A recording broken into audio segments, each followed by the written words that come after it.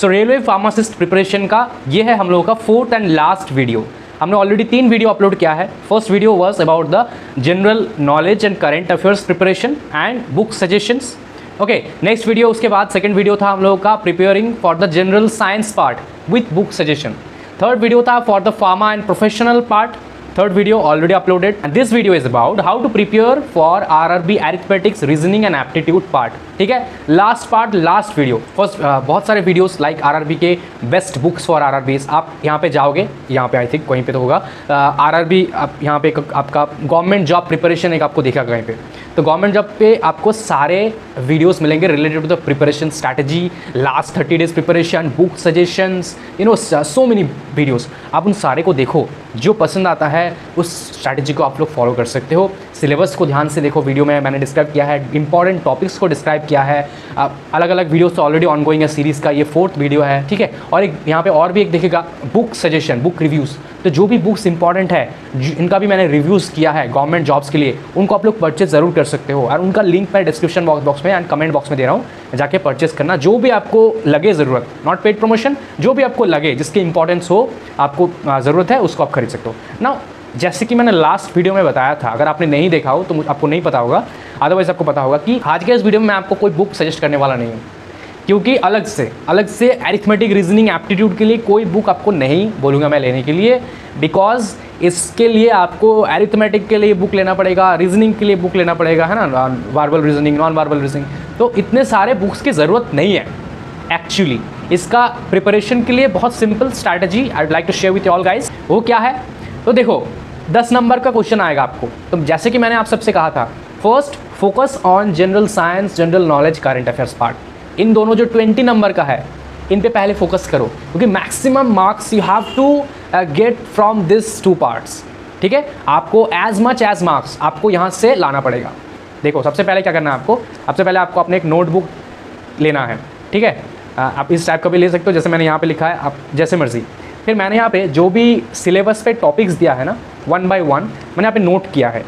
ये I think ये है फॉर द एरिथमेटिक पार्ट ये है फॉर द रीजनिंग पार्ट और नीचे general science and general knowledge के लिए भी थोड़ा लिखा है मैंने। सो so, मेरे पास यहाँ पे आई थिंक 17 18 टॉपिक्स हुआ है from the arithmetic part 16 to 17 ऐसे 18 टाइप इतने सारे टॉपिक्स मैंने बस नोट किया यहाँ पे। सिमिलरली मैंने यहाँ पे रीजनिंग के लिए भी नोट किया है। Eight nine ten eleven twelve ऐसे बारह तेरह होगा। फिर uh, ये हो गया रीजनिंग और ये हो गया एप्टीट्यूड अब क्या करना है आप सबको? ऐसे आपने लिख लिया, फिर आपको यूट्यूब ओपन करना है। यूट्यूब ओपन करके नम मान लो पहला मेरा टॉपिक है नंबर सिस्टम या फिर decimals fractions L C M A C F ratio proportion mensuration हर एक टॉपिक को आपको सर्च करना है यूट्यूब पे। कोई भी चैनल आप ऑलरेडी लाइक करते हो सब्सक्राइब करते हो तो दैट इज़ वेरी गुड अगर आप नहीं करते हो तो एक, दो, तीन वीडियोस को देखो। जो भी टीचर्स का वीडियो आपको पसंद आता है आप उसके आगे कैरी फॉरवर्ड करो। मतलब उसके दूसरे भी देखो वीडियोस ठीक है? तो आपने मान लो टाइम कोई भी एक days number system number system का कोई एक वीडियो हमने देखा आ, थोड़ा बोरिंग लगा क्लास स्किप कर दो नेक्स्ट चैनल पे मतलब नेक्स्ट चैनल पे देखो वही वीडियो ये वाला हमको पसंद आया। हम लोग सीख गए नंबर सिस्टम उस दिन हम लोगों ने नंबर सिस्टम सीख लिया। One to two hour enough सीखने के लिए। Right right? पहले हम थ्योरी सीखेंगे थोड़ा सा कैसे सॉल्व करना है फिर ट्रिक सीखेंगे trick to easily solve right easily solve हो जाए। उसके बाद कुछ क्वेश्चन आंसर करेंगे ठीक है? ये हमने एक दिन कर लिया पूरा। अब नेक्स्ट से हम लोग एक रीजनिंग का करेंगे। एक दिन एप्टीट्यूड मतलब एक दिन एरिथमेटिक एक दिन रीजनिंग एक दिन एप्टीट्यूड एक दिन रीजनिंग ऐसे। ऑल्टरनेटिव करेंगे, नहीं तो एक हो जाएगा पूरा, एक रह जाएगा। फिर हम लोग चलेंगे रीजनिंग पे। तो क्या पहले यहाँ पे मान लो कोडिंग डिकोडिंग ईजी कोर्स पहले कर लो। कोडिंग डिकोडिंग कर लिया हमने एक और चैनल से, कोई पसंद आ गया चैनल ऐसे ऐसे आपका प्रिपरेशन ईजिली हो जाएगा। कोई बुक लेने की ज़रूरत नहीं है आपको इन सब्जेक्ट्स के प्रिपरेशन के लिए एक्चुअली मैं जेनुइनली बता रहा हूँ मैं आपका प्रिपरेशन हंड्रेड परसेंट हो जाएगा, लेकिन इसके साथ भी कुछ चीज़ें करना है आपको। आगे बताता हूँ, ठीक है? आपने कर लिया। अब मान लो यहाँ पे फोर्टीन रीजनिंग है और यहाँ पे सिक्सटीन सेवनटीन तो कितना हो जाएगा total within one month आपका सिलेबस कंप्लीट हो जाएगा। अब आपको वीकेंड में करना क्या है? एक और चीज़ करना है आपको। तो मान लो आपने ऑलरेडी दो चार कर लिया है नंबर सिस्टम अब आपको प्रीवियस सेट्स के जो पेपर्स है, जो ऑलरेडी हम लोग के पास है राइट आई होप आप सबके पास होंगे। आर फार्मासिस्ट का पेपर्स अपने जो बुक है, मैंने सजेस्ट किया था। आई होप आपने उसको खरीदा होगा। रिसेंटली जो पब्लिश हुआ अगर नहीं तो अब नीचे लिंक दे रहा हूँ, खरीद लेना।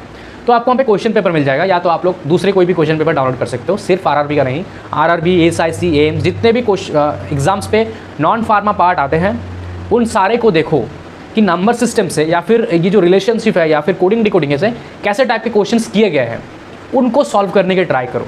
क्योंकि उसी टाइप के क्वेश्चन आने वाला है, जो जो आप लोग एग्ज़ाम्पल सॉल्व कर रहे हो ना यूट्यूब पर वो नहीं आएगा।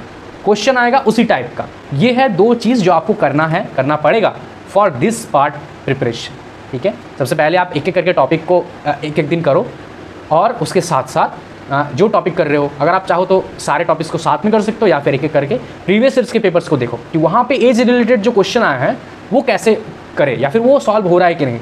अगर वो सॉल्व कर पाए तो मान लो आपका प्रिपरेशन इज़ गुड गोइंग अगर नहीं then you have to focus little more इसीलिए मैंने कहा, इसको हम लोग थर्ड पे रखेंगे।